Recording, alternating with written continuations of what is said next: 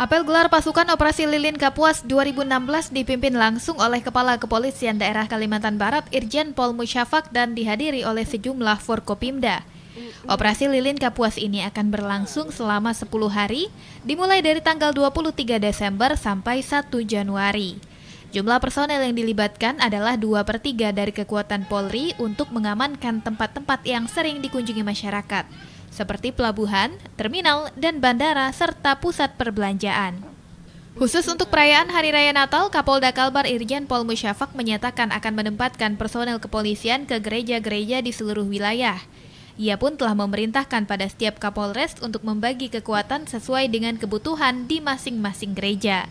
Masing-masing Polres semua sudah memplot anggota sesuai dengan jumlah jamaah yang akan melaksanakan ibadah di situ.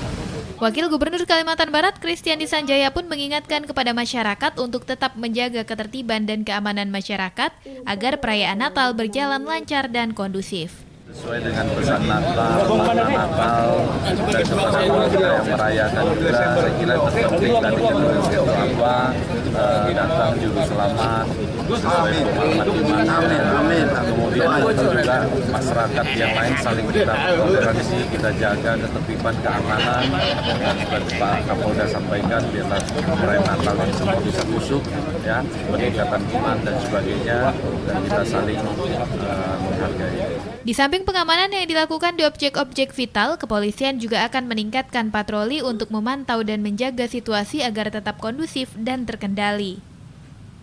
Femiastiti, Kompas TV, Pontianak.